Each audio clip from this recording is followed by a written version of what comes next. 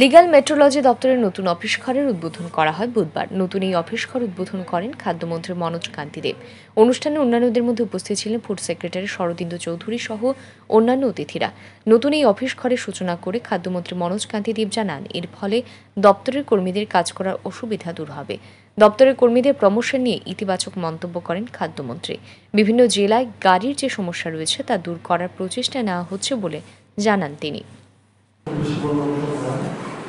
তার মধ্যে আপনারা শুনেছেন যে দশজন টিসিএস পেয়ে পদোন্নতি হয়ে আমাদের ছেলে বিভিন্ন দপ্তরে চলে গেছে।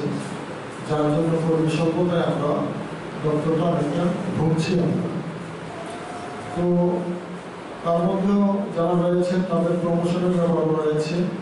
সে সম্পর্কেও আমরা ফাইনাল ডিপার্টমেন্টের কাছে আমরা ফাইল পাঠিয়েছিলাম তো সেটা অনুমোদনের অপেক্ষায় রয়েছে।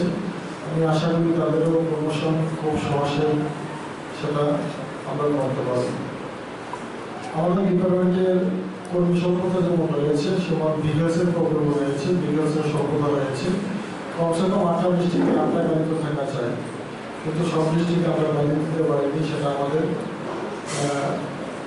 আমরা চেষ্টা করছি। আগামী দিনে সবগুলি ডিস্ট্রিক্টে কীভাবে গাড়ি দেওয়া যায়, সেই ব্যাপারে আমার আগামী দিনে শান্তির বাজার এবং তেলিয়ামুড়াতেও দপ্তরের কাজকর্ম প্রসারিত করার ব্যাপারে চিন্তাভাবনা চলছে বলে খাদ্যমন্ত্রী উল্লেখ করেন। ক্রেতা স্বার্থে দপ্তরের ভূমিকার কথা তুলে ধরে মনোজ কান্তি দেব বলেন, বিগত বছরে মোট এক কোটি তেষট্টি লাখ টাকা জরিমানা বাবদ আদায় করা হয়েছে, যা উল্লেখযোগ্য একটি সাফল্য।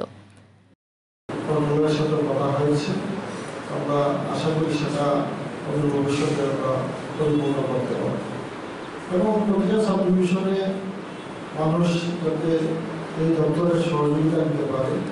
কারণ আপনারা জানেন যে প্রতিটা সাব ডিভিশনে প্রতিটা ছোট বড় বাজার প্রত্যেকটা জায়গাতে বিভিন্ন দপ্তরের গুরুত্বপূর্ণ ভূমিকা রয়েছে। সেই লক্ষ্যে শান্তির বাজার এবং তেলিয়ামরাতেও আমরা আহ, আরও দুটো রেগুলেটরি অফিস খোলার পরিকল্পনা আমরা নিয়েছি। রেগুলেটরি দপ্তরের যেই কর্মীরা রয়েছেন তারা যে কাজ করে না এরকমটা নয়। তারা ঘরে বসে থাকে না সেরকমটা নয়। তারা শুধু অফিসে বসে অফিস কাটায় সেরকমটা নয়। এটা প্রমাণ করা গেছে দু হাজার একুশ বাইশ বছরে।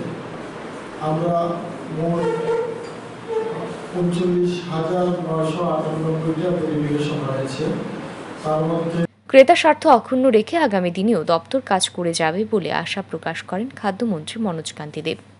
Bureau report Rajesh news.